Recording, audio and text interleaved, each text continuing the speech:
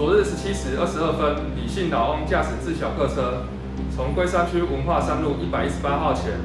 倒车失控，沿文化三路逆向，然后在文化三路与文化二路五十二巷口撞击邓女等四名行人及停等红灯的两台机车骑士，最后撞上商家才停止。伤者经紧急送医，其中邓女伤重不治，令李姓老翁酒测指为零，肇事原因等待调查后离清。警方呼吁高龄民众外出时应避免自行开车，由家人载送较为安全，避免发生类似情形。